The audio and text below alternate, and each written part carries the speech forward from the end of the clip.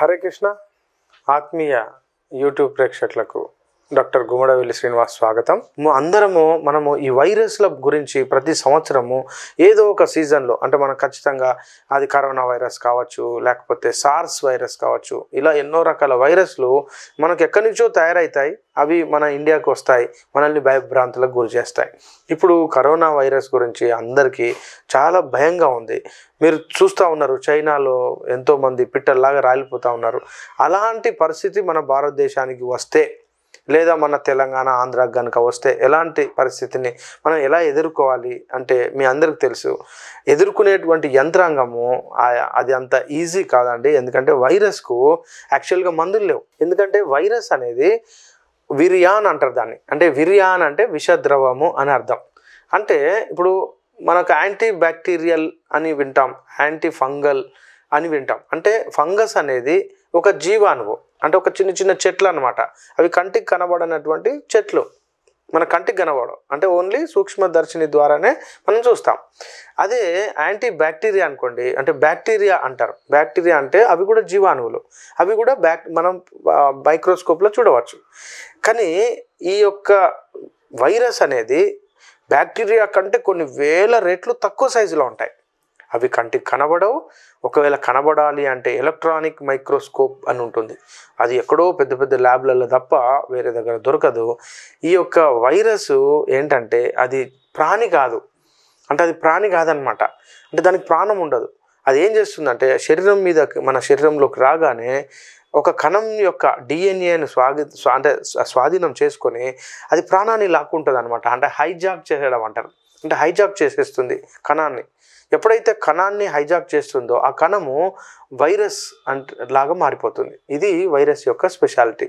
అందువల్ల ఈ యొక్క ఆంగ్ అంటే ఆంగ్ల వైద్యము లేదా ఇంగ్లీష్ వైద్యము వైరస్లకు మందులు కనిపెట్టలేకపోతుంది. రీజన్ ఏంటంటే దీనికి మనము యాంటీబయాటిక్ లాగా మనం వాడలేం. అయితే ఇప్పుడు మరి ఈ యొక్క వైరస్ను కంట్రోల్ చేయడానికి అంటే వైరస్ను తగ్గించడానికి వైరస్ను నిష్క్రియావంతం చేయడానికి ఆయుర్వేదంలో ఏదైనా ఉందా? ఎస్ ఉందండి. ఆయుర్వేదంలో అద్భుతమైనటువంటి వనమూలికలు కొన్ని వందల వనమూలికలు యాంటీ వైరల్ ఎఫెక్ట్ ఉన్నటువంటి వనమూలికలు ఉన్నాయి. నేను ఈరోజు చూపిస్తున్నాను మీకు. ఇది దీని పేరు నేల ఉసిరి అంటారు. మీ అందరికి తెలుసు ప్రతి ఒక్క వాకిట్లో ఉంటుంది ఇది నేల ఉసిరి. దీని యొక్క వెన్ పత్రాలు అంటే చెట్లు యొక్క ఆకులు ఉన్నాయి చూసారా?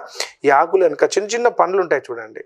ఇది మహా చేదుగా ఉంటుంది. సో ఇది నేల ఉసిరి దీన్ని ఫిల్లాంతస్ నీరూరి అంటారు. నేను ఇంత తీసుకున్నాను. నేను ఒకటి రెండు చెట్లను తీసుకుంటాను. ఈ యొక్క ఫిల్లాంతస్ నీరూరి అనే చెట్లను మనము ఈ యొక్క ఏ వైరస్ వచ్చినా కూడా అంటే ఎప్పుడైనా వైరస్ వస్తుంది ఏదైనా సాంక్రమిక వైరస్ లేదా అందరినీ కబలించేటువంటి వైరస్ అది ఏదైనా కావచ్చు ఇది యాంటీ వైరల్గా అద్భుతంగా పనిచేస్తుంది. ఇది మనం ఏం చేద్దామంటే మనం ఒక ఒక ఒక చిన్న పిడికెడు తీసుకున్నాను. ఇది దీన్ని ఏం చేయొచ్చు అంటే ఇంకా ఈ కామెర్లు ఉన్నాయనుకోండి కామెర్లు కానీ లివర్కు సంబంధించినటువంటి డిజార్డర్స్ కానీ అసలే ఆకలి లేనటువంటి వాళ్ళకు అద్భుతంగా పనిచేస్తుంది ఈ యొక్క నేల ఉసిరి ఇంకా మీకు తెలుసు ఇది తిప్పతీగ.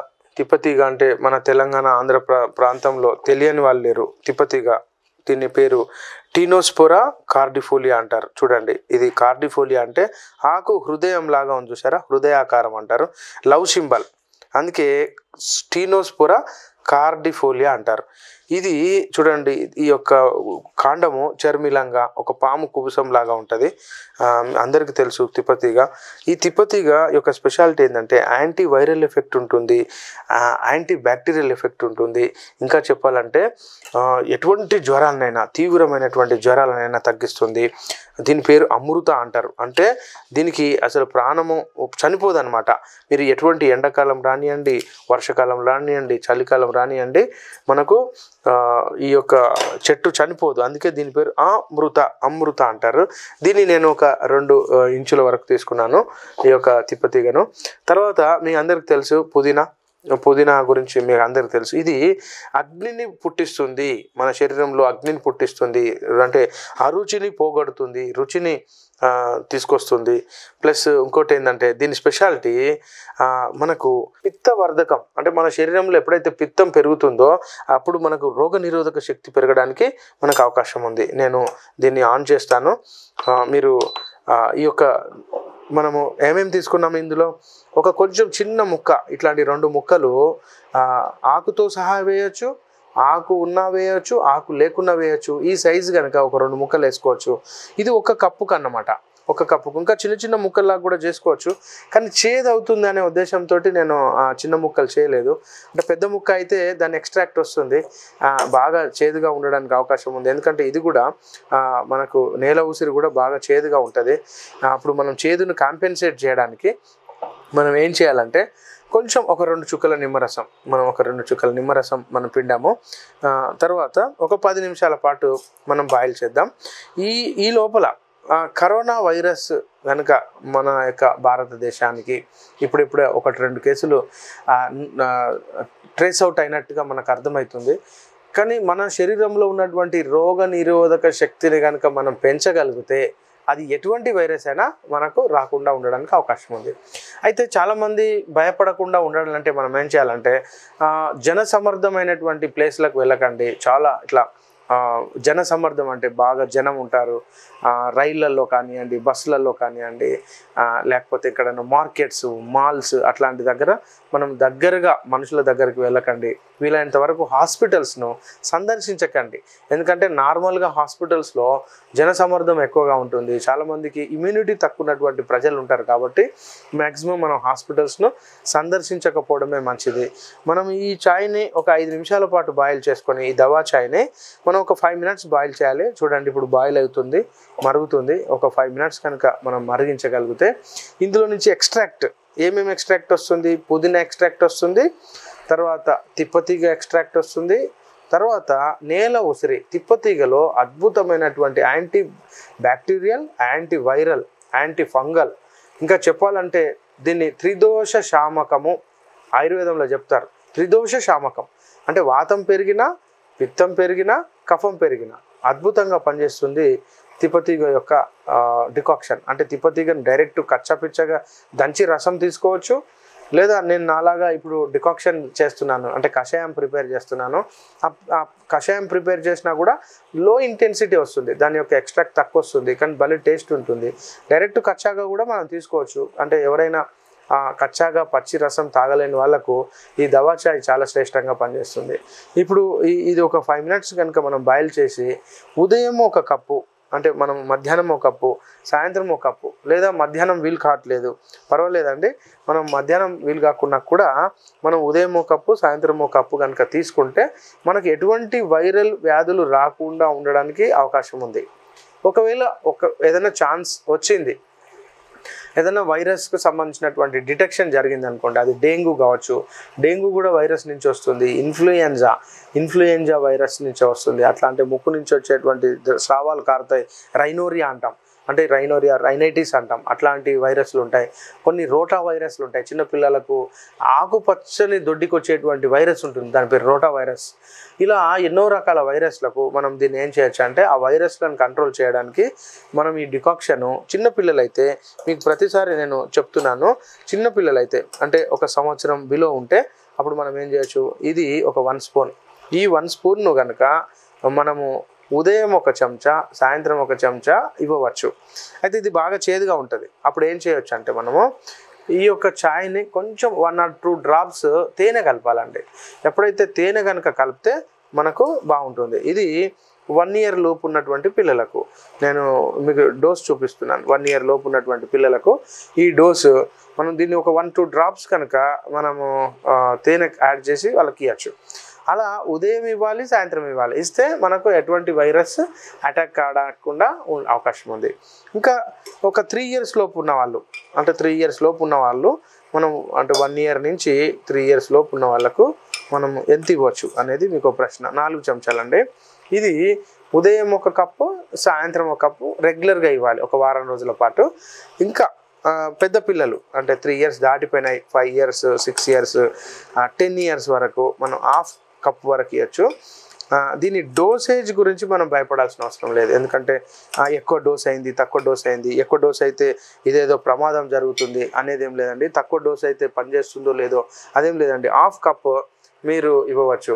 ఇది బిలో థర్టీన్ ఫోర్టీన్ ఇయర్స్ వరకు రెగ్యులర్గా లైట్ గ్రీన్ కలర్ ఉంది చూసారా? ఈ లైట్ గ్రీన్ కలర్ను మనం ఇవ్వచ్చు అయితే ఇది ఇచ్చే ముందు మనము మీరు అందరూ అడుగుతారు ఇది బాగా చేదుగా ఉంది కదా ఎలా అని.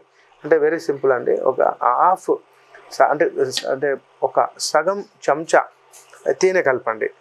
ఈ తేనె కనుక కలిపితే అది కప్పులో పోసిన తర్వాత ఇది కొంచెం టేస్టీగా ఉంటుంది హెల్తీగా ఉంటుంది. మూడవది ఏంటంటే తీయగా ఉంటుంది. తేనె గురించి మీకు ప్రతిసారి నేను వివరంగా చెప్తున్నాను. తేనె మనకు ఉష్ణాన్ని పుట్టిస్తుంది. తర్వాత ఎనర్జీని ఇమ్మీడియట్లీ ఇస్తుంది రోగ నిరోధక శక్తిని పెంచుతుంది. ఇంకా చెప్పాలంటే ఫ్రీ రాడికల్ రిమూవర్ తర్వాత ఇంకా చెప్పాలంటే ఫ్యాట్ బర్నర్. ఇలా ఎన్నో రకాల మనకు ఉపయోగాలు ఉన్నాయి తేనెతో. నేను దీన్ని ట్రై చేస్తాను నేను ఆఫ్ చేస్తున్నాను.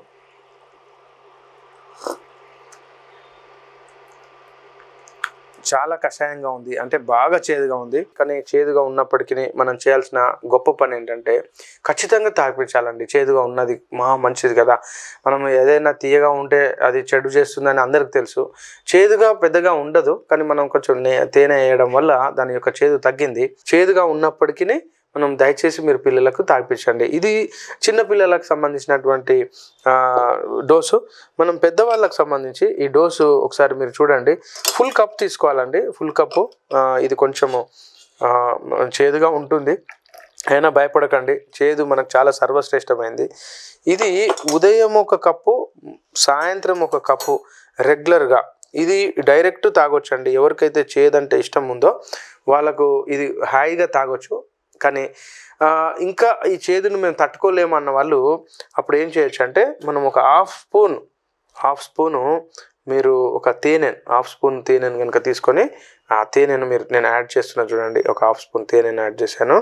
దీన్ని అప్పటికప్పుడు ఇట్లా వేడివేడిగా ఉన్నప్పుడు కనుక ఈ తేనెను కలుపుకొని మీరు తాగితే చాలా బాగుంటుంది.